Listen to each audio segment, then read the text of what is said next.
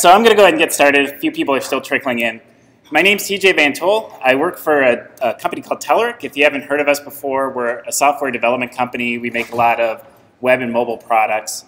And I'm also a member of the jQuery team. I work on a, a number of the different jQuery projects, but I focus mostly on jQuery UI, which is part of what this talk is about today. And I want to start by asking everybody a question. Um, how many people in this room have a jQuery UI widget deployed in a production application? So maybe third half the room. How many people are using one of the new HTML5 input types in a production application? Okay, just a handful of people. And this is really what this talk is about. Um, it's talking about the situation that we have that's really kind of a recent problem on the web, where we have these native controls, things like input type date, um, and these JavaScript widgets that we've historically used, things like jQuery UI's date picker. And there's several examples of these, things like input type number versus spinner, uh, range controls, data lists. And for the first time, uh, we've kind of for years complained about these things not being available on the web. And now that we have them, we have this situation where as developers, we have to choose. Do we use the native controls or do we use the JavaScript widgets that we've been using for years? And so what I'm going to talk to you about today is I'm going to briefly summarize kind of the past, kind of how we got to this point. Then we'll look at some specific instances of this, compare things like the native date picker versus uh, jQuery UI's date picker. Then we'll kind of answer the most important question, what should you actually use today? What should you actually put in production? And then we'll take a brief look at what's being done at the spec level for the future to make these the, some of the problems that we're going to talk about better for developers um, moving forward. So first, just to quickly discuss how we got here. Um, I, mean, historically, the building forms on the web has been a very painful process, and mostly because there's a very limited set of controls that we have available. If you look at this list, this is the entirety of form controls that are part of the HTML4 spec. And these five controls right here are all just different confusing aspects of buttons so really all we have is text boxes, passwords, radios, checkboxes, you can get files, you have drop downs, you have text areas. And that's it. That's really all you have to build a form. Now, when these controls first came out back in like 1997, this wasn't much of a problem, right? You'd build an app and you, your CGI script could read your values and you'd be all excited. You'd go high five your high five your coworkers because it's like, man, yeah, like I, I could build a form. But a lot has changed in the last 15 years. I mean, that's no longer good enough. The whole profession of UX has made it to the web and has found that very, very small changes in your form, just making it easier for users to fill out, can make a big bottom line difference. It can mean a lot of money for your app. It could mean you retain users. You just make users happier by being, making forms easier to use. And as it turns out, that this is not a comprehensive set of data that you ever want to get from users. There's more things out there. Another thing happened in the last 15 years, and it's that we got a lot better at JavaScript. JavaScript went from a toy language where we were doing image rollovers and um, silly little things to really a robust language. And this was propelled by libraries like jQuery, but not only jQuery, things like MooTools and Prototype and Dojo and YUI, and all these libraries made things that we really couldn't think about doing before possible. So all of a sudden, it really came, became conceivable to build a calendar in JavaScript, and it made our forms a lot easier to use. Now, we did this for years. Um, jQuery UI is seven or eight years old at this point, and there was precursors to jQuery UI as well. Um, and eventually, the standards kind of came around on this sort of thing. So several years ago, a number of new input types, and this shows the date type in particular, were added to the specification and then in the last handful of years, browsers have actually started to implement these controls. And so that's kind of how we got here, and we're kind of in the middle stage where browsers are still kind of implementing these, and it's still, still a little bit of in a state of flux. So I want to look at some specific instances, kind of the most common conflicts, and kind of compare and contrast and show what are the advantages and disadvantages of these. Now, the first one I always bring up is the date picker, and I do this because it's the most common example. We know, for instance, from just download statistics. We do analytics on jQuery UI, and we know that the date picker is by far our most popular widget, almost two or three times more popular than any other one. So when you compare these head to head, it, the input type date, the native control, it's just as simple as giving a input a type of date, and you get, this is Chrome's implementation of this calendar, and then other browsers have different implementations. And jQuery UI's, of course, you get um, you select the element with a, uh, a, selector, and you call the date picker plugin, and then you have a date picker. Now, support for input type date isn't all that great at the moment. Uh, Chrome has had an implementation in it since Chrome 20, so it's been around for a while. a couple of the mobile browsers, iOS Safari has an implementation, and Chrome for Android does as well. But at the moment, we still have no support in IE or Firefox, and we still have no support in the default Android browser. So it's kind of a hard sell to use across the board at this point. Um, so why would you want to use the native picker? Well, first of all, it's dependency free. Now, the previous example I showed, of course, jQuery UI's date picker was just one line to, to call the plugin. But what you're not seeing is that you have to include jQuery core. You have to include the date picker plugin in order to use that. Uh, whereas the native picker works without any dependencies. It'll work when JavaScript isn't even available. The second is that it's easy to use, and not that these JavaScript widgets are necessarily hard to use, but think of it as a newcomer to the platform if you wanted to explain how you want to build a date picker. If you're talking about how to build a JavaScript control, you have to talk about script tags, you have to get into all these things, whereas a very basic input type date, that's pretty self-explanatory. And there's some other real advantages of these native controls as well. You get integrations into some other native features, things like the min, max, and step attributes. Now, for this example, I have a date here, and I'm saying that I want a date between March 3rd and March 20th. And it's up to the browser or the user agent how they actually want to implement this. And in Chrome in particular, and see how the, the contrast works here, but they actually gray out the month and the year for you since you can't actually select those because of the min and max constraints. So you can only type in the date. And then if you go into the full picker here, it's the same thing where they only allow certain days. Now the step attribute is kind of weird, and I don't actually know why they allow this on date types, but for number type, step makes a lot of sense because it's like you step by values of two, four. It, can, it controls uh, kind of the rate you step. But for date pickers, it's kind of weird, but you can do it. And in Chrome, it makes it so you have this checkerboard pattern so you can select every other day. One of the bigger reasons to do it is you also get ties into HTML5's native validation mechanism, which is known as constraint validation. Now some of this, before you actually look at the code too much, some of this is just implicit validation. Meaning, if I try to type in, say, a leap year, or I pick a date that's not actually a leap year, like this year, Chrome will actually prevent that, that submission automatically. And how many people in this room have written leap year logic before? Yeah, this should be pretty good news to people who've done it, because I mean, it just feels so pathetic that we're writing this in 2014. And this is one thing that the browser will take care of it. I mean, it'll also take care of, it knows that, for instance, there are only 30 days in September, and it'll automatically stop that date from being submitted. Now, we also get the, full constraint validation API, which is a DOM API that extends some of the native validation features. And without getting too much into the details here, the, the method set custom validity does, does two things. It's kind of a weird API. It both tells the browser whether the field is invalid or valid. Empty string means valid, strangely enough. Non-empty string means invalid. And then you can also control the message that appears in that little validation bubble.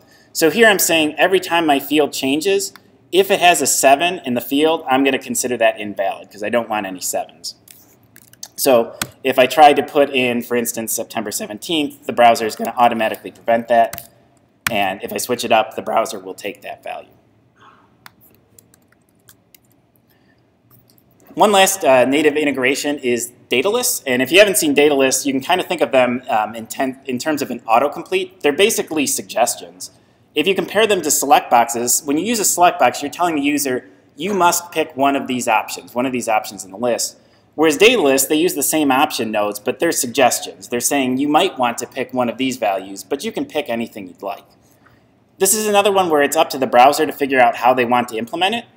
And in Chrome, for instance, you get this, this drop-down with the options you provide. But since these are just suggestions, you also have access to this other menu that just brings up the full picker to let you pick whatever you want. But on top of all this, perhaps the biggest reason to use these native controls is that when you use them, you give control over to the browser. And you tell the browser, pick the best means you can to collect this data from the user which can be really powerful, especially on mobile devices. And I have examples up here from iOS and Chrome for Android. But by giving control over to the browser, you can let them use the same pickers that their native OS uses. So in iOS, for instance, that's the same calendar widget you would use in the calendar app just natively on iOS, which is great because remember the whole reason we're doing this is to make the, the forms easier to fill out for users. And if you're giving them a, a control that they're already familiar with, it's going to be far easier for them to use. Now, this is all great, and I talked about some pretty cool things that the native controls can do, but there's also some real limitations.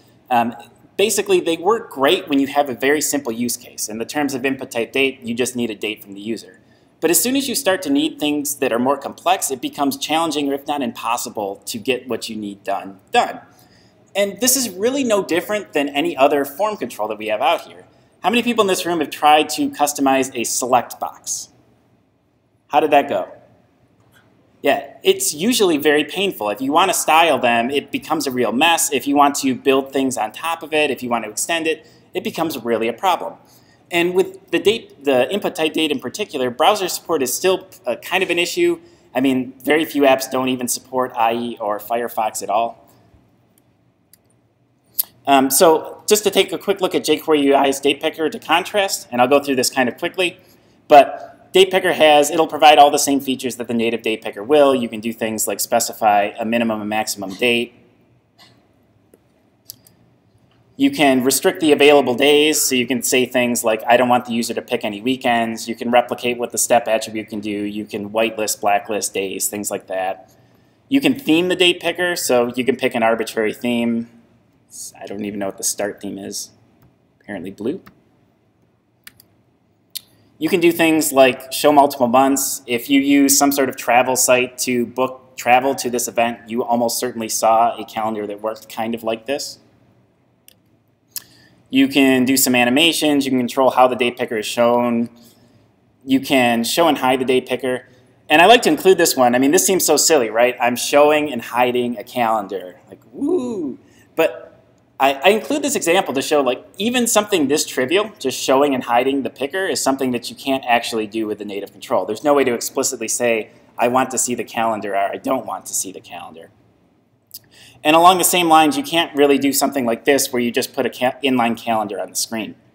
Um, th these sort of things just aren't possible when you have more complex requirements.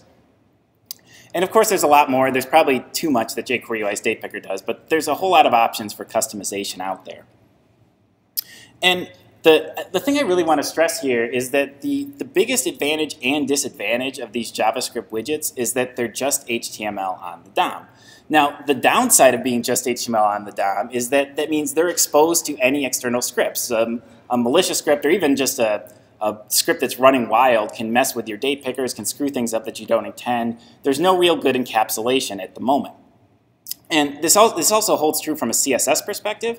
I even ran into trouble with this when building this slide deck, because is an HTML-based slide deck, and I have selectors that are applied globally, and then they mess with the date picker, and they mess with these other JavaScript widgets, and then you have to figure out, like, oh, well, I didn't want my styling, global styling to actually affect my widgets, and things like that. So it's kind of a big detriment of these controls. But on the flip side, this gives you all sorts of power. I mean, we have the full power of JavaScript at our potential. If you want to change the way the title bar is, just get your hands dirty, go in there, rip it out, throw in some new stuff. You can go nuts with this sort of thing. And to show that, I built this date picker using only CSS. This is CSS only. Um, I like it because it's it's still a functioning date picker. Like you can still pick days.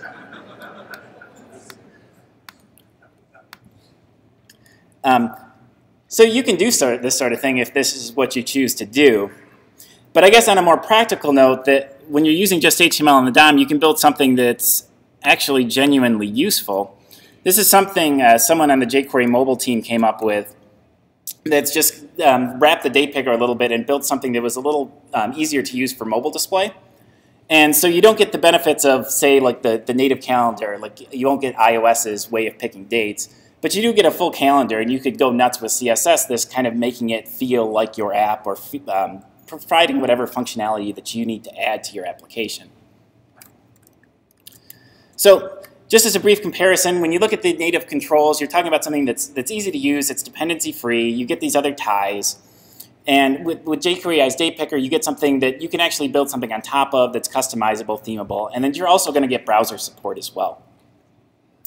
The next question that usually comes up at this point is, well, can we kind of pick and choose? So we have, we have these kind of nice features on both sides of this, and I kind of want the best of both worlds, right? I want the, the native controls, but then I want to I want the native validation, but then I want kind of want my own custom date picker.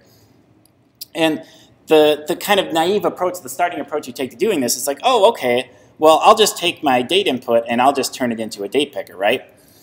And when you do that, you actually get this situation where you get two calendars.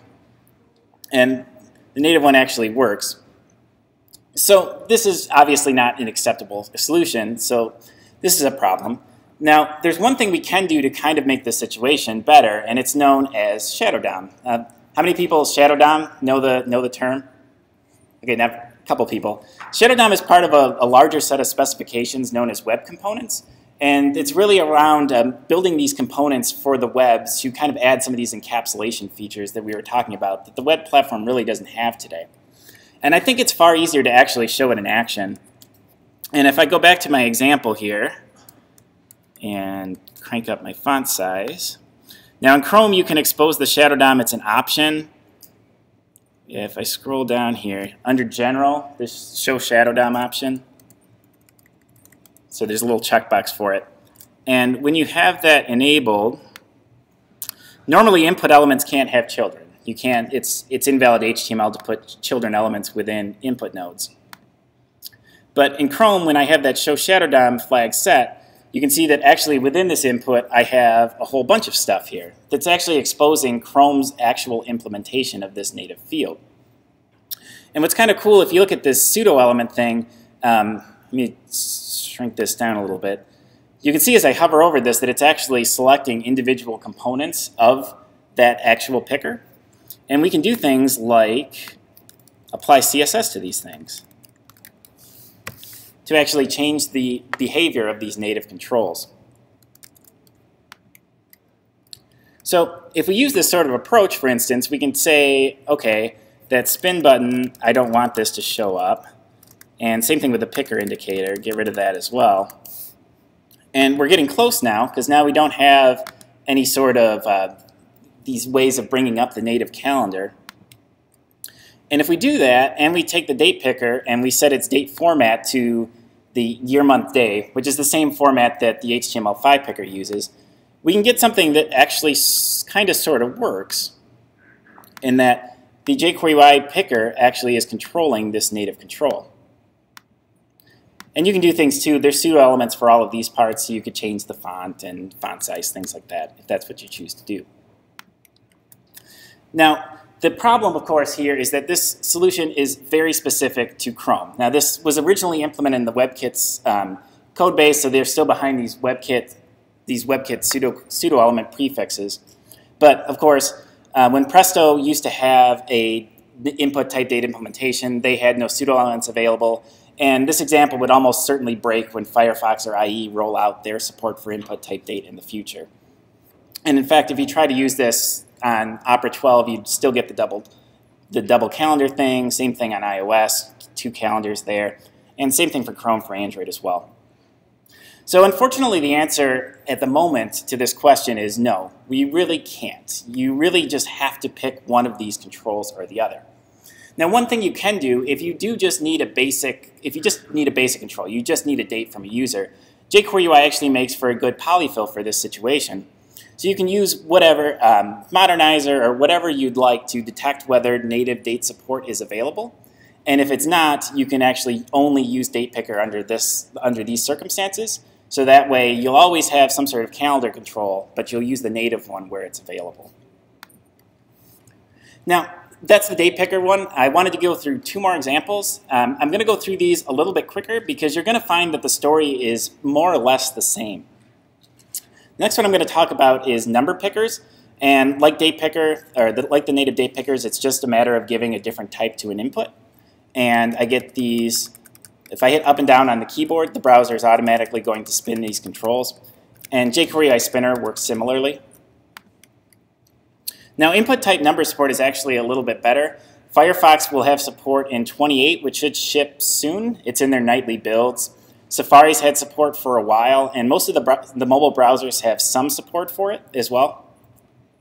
The reasons to use the number picker are pretty much the same. get a control that's easy to use and without dependencies. You also get mobile optimized inputs. So this is what the number picker looks like on Chrome for Android. You can see you get kind of the, the dialer and some extra currency controls here. Same thing on iOS. iOS has a little trick too where if you know that you're only going to get just numbers, just digits, you won't have any decimals or commas or anything like that. You can give it a pattern attribute and you actually get the, the phone dialer here, which is pretty convenient. I love when I see this on websites because it things for like credit card numbers and zip codes, things like that. IE10 Mobile has an implementation of well. I include this screenshot because I think it's kind of hilarious that um, IE10 Mobile will let you put in a smiley face into a number control. I don't, I don't think that's actually part of the specification, but Opera Mobile, this was before they switched over to Blink. This is still using in the Presto rendering engine. They were the only mobile browsers that actually put these, these little plus and minus boxes that desktop browsers show.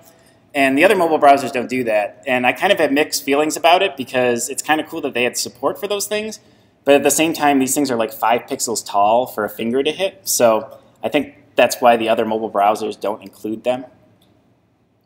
And speaking of those min and max attributes, in, in this case, they're pretty common with number inputs. So back to hitting up and down on the keyboard, the browser will actually stop me at the min and max, so I can only go between 0 and 10.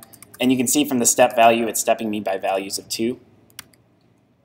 You get the same hooks into the constraint validation API. So again, if I go under the min here, the browser will stop that and tell me, actually automatically provide a message for me that I can't actually go under that value. The same thing, the max is 10 here. If I try to go over it, it'll tell me that as well and also for the step attribute as well. And I guess I should say one last thing too, is since it's a number type, it'll stop me for alphanumeric characters as well. Which is pretty cool because there's, there's really no extra code here. There's no magic JavaScript running that. These are all just pre-canned browser things that are built in now. You get data list integration as well. Chrome implements this pretty much like a typical autocomplete where you see the, these options in this little drop-down box, but of course it's, it's a data list, so I can type whatever value I want into it. The limitations of input type number, it's, it's the same basic things. If you want to build things on top of it, you're going to have a lot of issues. And I guess to kind of show that, I want to briefly show jQuery UI spinner control, which is kind of the equivalent of this. So you get the same min-max and steps in step support. The spinner widget will actually look at the attributes on the input type so that you don't have to specify them as options. It's themable, so I'm going to switch up my theme. I don't even really... Swanky purse. I wasn't around on the project when the theme names were chosen. Um, paging. So basically, uh, when I hit the up and down keys, I'm moving by a value of 1 because that's the default step value. But you can also page using the page up and page down keys. And I'll show you why this is kind of cool in a second. But we'll get back to that. But where this controls like this get more powerful is where you have more complex requirements, where you need something that's that is a little more robust. So here, let me go down. The number picker or the spinner widget actually ties into another jQuery project known as Globalize, which provides some internationalization ability for web applications. So all I have to do here is include Globalize. So there's a script tag with Globalize behind the scenes here. And then also give a number format of C, which tells the browser this is a currency input. And when I step now my value of 25, I actually have a formatted currency value. And since this is driven by globalize, all I have to do if I want a different currency or a different culture is switch. So if I go, for instance, to German, I get a euro-based value. I can switch, for instance, to Japanese, and I'll be working in yen, which is pretty cool that you can do that in a single line of code. Um, and more to the point for that these widgets are really good for more complex interactions. This is actually a, a demo that's on jQuery UI's demo site, and it's for a time spinner widget. So all widgets built with jQuery UI are built with the widget factory, so you can just extend these widgets in a single line of code to add some additional functionality. And really, this is pretty short. All this is doing is, is two things. First, to configure some of these options, the step control and the page control, to work like basically um, to work with time to format, to, to, or, so they work like seconds and hours. And then these functions here just basically format the values back and forth. And with just those few lines of code, I can build an actual time picker that can spin around minutes by default, and it'll actually go over the hour barriers here. But then also, because I set I defaulted the page value to work like hours, I can also use the page to work by hours. And since this is driven by globalize as well, if I want to sw uh, switch to a more sane time model, all I have to do is switch away from the US English. And that works as well. And again, there's a lot more. There's less options for Spinner, but it's still kind of more, more that it's a base to build more complex things on top of. Now, and I wanted to keep it, this example going that it's just HTML on the DOM. So I built this, I tried to think of what I could build to make a spinner look like it was dancing in CSS. And this is really the best I can come up with. But I wanted to make this example kind of realistic, so I made a spinner to control that spinner. that just controls how much that bounces up and down the screen. Now, obviously, this is a bit of a ridiculous example, but it just shows the type of things that are made possible with these JavaScript widgets. And to answer the, ask the same question of can we get the best of both worlds, um, you again have the same problem when you try to take this approach that you get the, the double spinners. Now in this case they actually do both work by default, but it's obviously a bit strange. Um, you can use Shadow DOM again, you can hide those things pretty easily and you get something that actually works pretty well in Chrome. This, the native validation is still going to work with this. You're still going to get the nice keyboard on mobile. So this actually feels pretty close. But again, the problem is this is, again, specific to Chrome. So when Fire, if you were to go with an approach like this, when Firefox ships their number picker in another couple of weeks, you'd have this problem. So unfortunately, the answer again is you really can't get the best of both worlds. But again, Spinner makes for a pretty nice polyfill. If you do have a simple requirement, you just need a number. You can detect whether support for the native number picker is available, and if it's not, only use the plugin under those circumstances. Um, the last example I want to talk about is ranges versus sliders, and I'm going to go even quicker because I want to make sure to get to the end, and the story is going to pretty much be the same. Now, range pickers, it's the same basic story. You give a input, a type of range, and the browser will build a, a little range control like this. jQuery UI slider works a little bit differently in that it wants a div rather than an input type to turn into this slider control, but the end result is more or less the same functionally.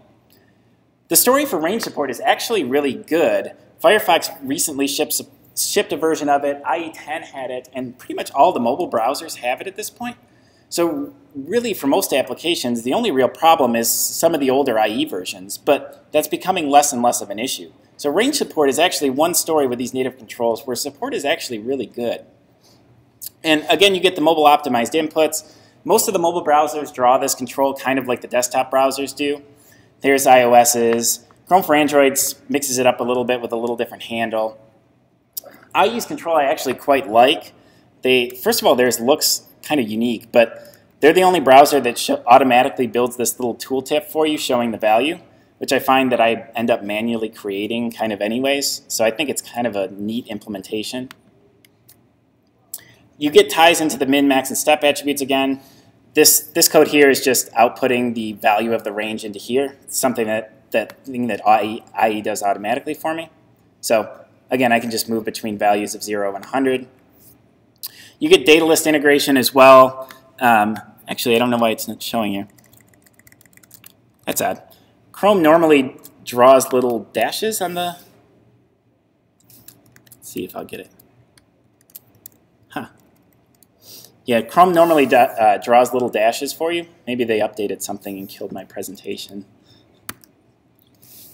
But data lists will actually work with ranges. In IE, data lists are actually um, these little white bars. If you provide a data list, it'll provide those as suggestions, suggested values for data lists on ranges.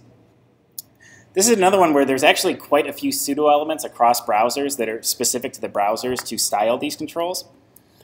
So for instance, in Chrome, if you wanted to build something silly like this, you can do things like change, uh, control the color of these things, you can build silly things like this, but you can actually be pretty creative with this, these controls across browsers. jQuery slider to contrast, um, obviously you get the same min, max, and step attribute controls or um, uh, features. It's themable again, so we can switch up to Vader. Get a styled theme. You get multiple handles. This thing is pretty common. I, I, think the more common use case is this. If you've done any online shopping, usually there's some sort of filter control that looks like this. And this is actually something I actually, they, they're actually adding this to the spec. There's going to be a multiple attribute that you can add to range controls coming, but it's still in the early stages. No browsers have anything, but it's actually being added to the spec. So hopefully this type of thing will be possible in the browser directly in maybe a few years. Um, you can animate if you really want your handle to animate across. And you can do a bunch of other things. But again, it's more of a solid basis. So to keep my silly example going, I built a slider that just spins, a rainbow slider, I guess. And I built a slider to control how fast it spins, so this will slow it down. And if I want to give you all seizures, I can go to this. Since this is nice and keyboard accessible too, I can do this. But I'll move on. On a more practical note, you can build some, some pretty cool controls with this as a basis. This is something, this isn't by anybody on the team, but this is just some, something somebody in the community made. So the first thing they did is they kind of took IE's approach of showing the tooltips with the actual values of these sliders, which I think is pretty handy. Um, but I guess what's really cool about this implementation is when you get these, these handles close to each other, they automatically collapse into one. And then when you get them on top of each other, they shrink down into a single value. And I think this was actually a really well done control and just sort of the thing that's made possible when you use these JavaScript widgets. And again, you can use Slider as a polyfill if range support isn't available. The code's a little more complex, so I'll have the slides, I'll post the slides of this on, on my Twitter account after this. So if you want to look at how that sort of thing is possible, um, you could look at this link for more information. So that's kind of it, basically the, the summary of all of this. And I want to get into what, given all of this information, given how these controls work, what should you actually be doing today? So to kind of summarize, when you're using these native features, you get a control that's very easy to use, dependent, um, dependency free, you get these other ties, but you also get something that it's really hard to build on top of. And as we saw, that you more or less have to pick one or the other. So really what I like to tell people is the native elements make a lot of sense when you have a very simple requirement. In the terms of the date control, it would be, I have a very simple control, I just need a date from the user. Or in the case of the number picker, I just need a number from the user. I don't need any special handling, I don't need any special theming, I just need data.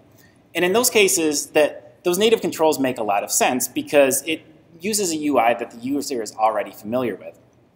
These controls also make a lot of sense if you have a high percentage of, mo of mobile users because giving the ability for the mobile browsers to customize these controls to do things like optimize the keyboards they see really help users complete these forms quicker. Now, but when you talk about JavaScript widgets, they still make a lot of sense if you have non-trivial requirements because those sort of things are still not going to be possible with the native controls. I mean, it can even be something as simple with a date picker of, I don't want to let the user pick weekend days you can't really enforce that sort of thing with the native controls. JavaScript widgets are also going to want to make sense if you want comprehensive browser support. If you just want a picker that works and you don't want to have to think about where it works and if I'm going to have to polyfill these things, the JavaScript widgets make a lot of sense for that as well. Now I will say two things. If, if you do actually want to use these native pickers and browser support is your problem, then I'll give two different options. The first is the one I showed earlier, you can detect support, and when support isn't available, you can use some JavaScript widget to polyfill in that functionality. So the user will always see a calendar, but they'll see the native control if it's available.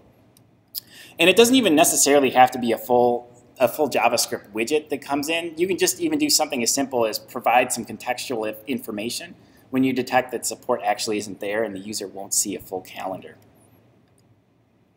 And I wanted to show, this talk is mostly about jQuery UI, but I wanted to highlight that this really isn't a specific problem to jQuery UI. This is all JavaScript widget libraries. So I mentioned I worked for Telerik earlier, and one of the products we make is Kendo UI. And I like to describe Kendo UI as jQuery UI++ because it has all the widgets that jQuery UI has, but then extra things like grids and schedulers and things like data visualization. And I wanted to show how Kendo UI approaches this problem. So if we have the same input type date and we turn it into a Kendo date picker, you can see that this calendar actually just works. We didn't have to do any hacks. And from the looks of it, this looks like magic, like Kendo UI actually solved this problem. But they actually didn't. We did something kind of, took a different approach under the hoods in that this input actually got switched back into a type text because otherwise we'd have the native controls kind of getting in the way. And you can kind of debate which approach is better. jQuery UI doesn't kind of mask over the problem for you. You get the two picker thing, and Kendo UI kind of makes it just work for you. It's kind of debatable what solution is better, but it's not like Kendo UI is immune to these problems. It's not like Dojo's immune or YUI. This is really a global problem. And it's kind of the same thing for the Kendo UI's number and range controls as well. These aren't actually the native controls. It's basically transforming them into text boxes and applying the custom widget from there. The other two I wanted to bring up are two mobile frameworks. If we look at jQuery Mobile, you can see that jQuery Mobile, at least for the date and number controls, they don't actually do anything other than styling the actual input box. And I think, so there's no custom calendar widget. Like they don't actually build a, a full calendar widget out for you. And this is really a testament to just how important leaving these native controls is on these mobile devices. And that pretty much all of these mobile frameworks shows, now you will find JavaScript widgets for, for mobile out there and out online, and there are some use cases for it. But for the most part on mobile, it's important to think of, or to consider using the native controls first. And as part of Kendo UI, there's another branch, Kendo UI Mobile, that is somewhat similar to jQuery Mobile as well. And I just wanted to show its approach as well and it actually leaves the native controls in place as well. So it doesn't try to use Kendo UI Web's full calendar. It just realizes that the best control for the mobile device is this native date picker and just leaves that in place. So that's kind of the, the situation, and hopefully that gives you some, some ideas of what you can actually ship today in the apps that you're building. And if you have any other questions, any more specific questions, feel free to grab me. I'll be around. We can chat about any of that. But the last thing I want to talk about is the future. We talked about some definite problems here, and I want to talk about what's being done at the spec to actually make this better.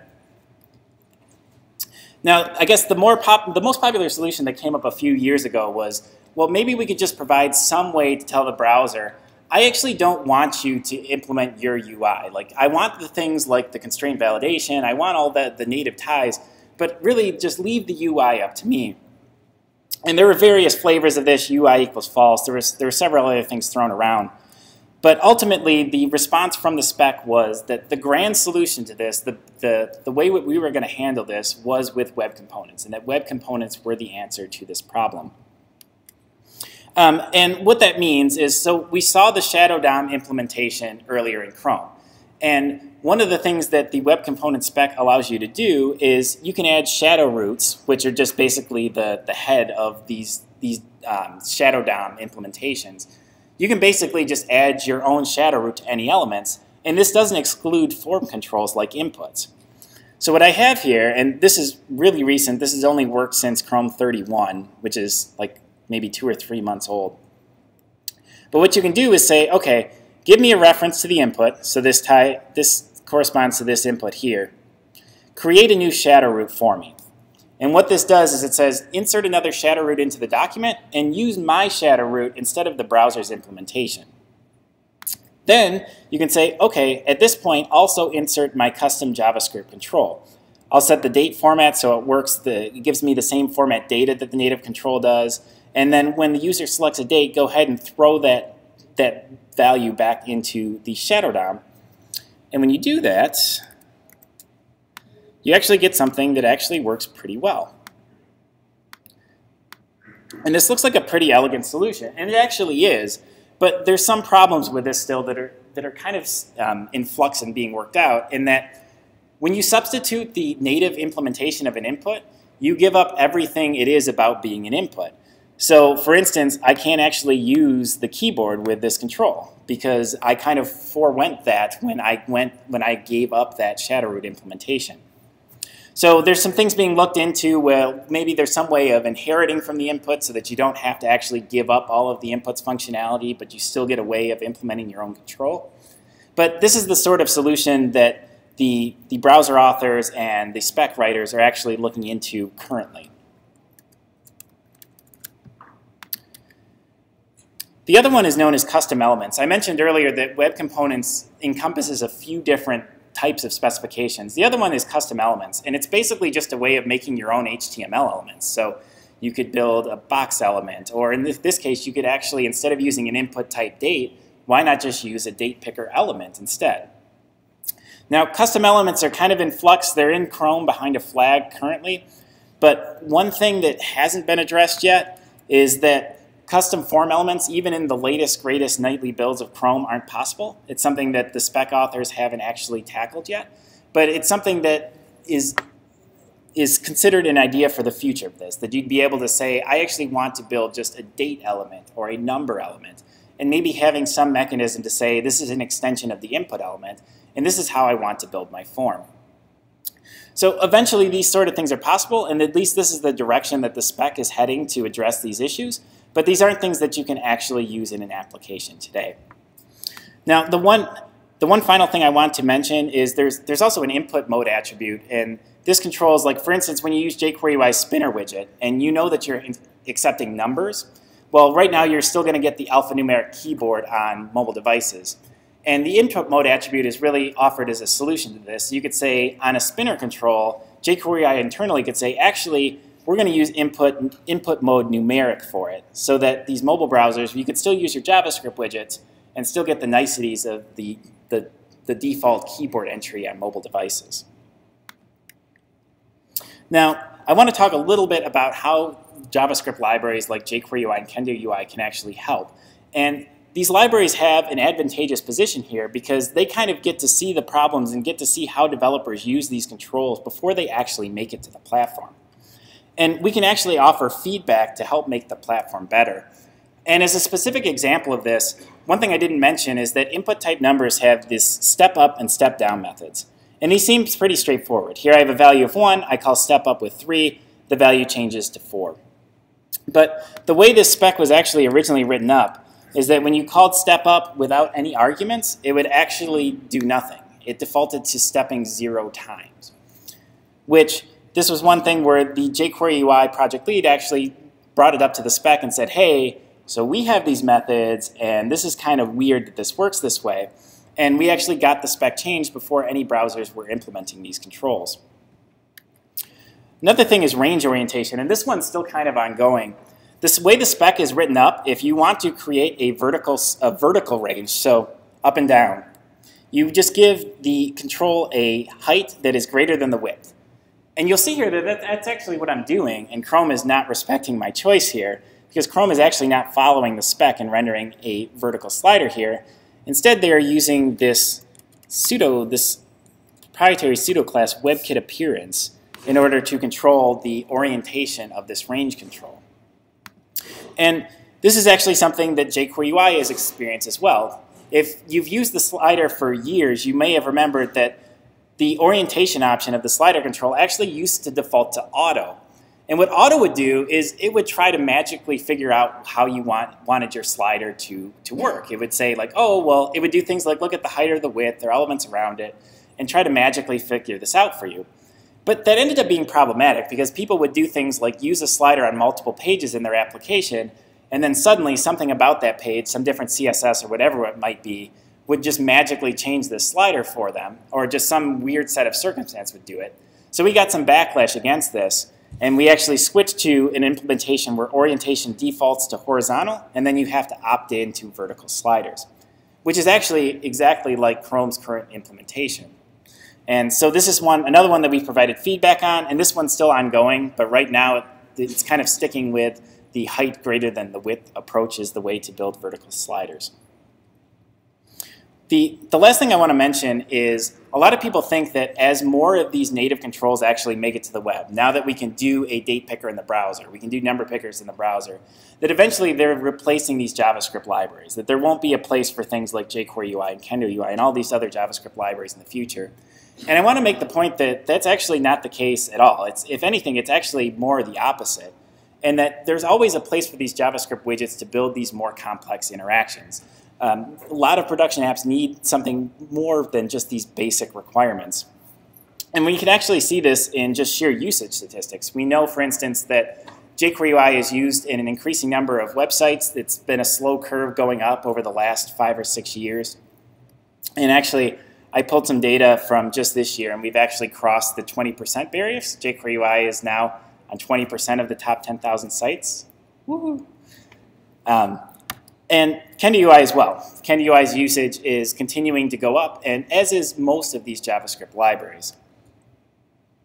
And so the last thing I want to say is um, if you're interested in helping, if you want to be a part of jQuery and jQuery UI, we're always looking for help.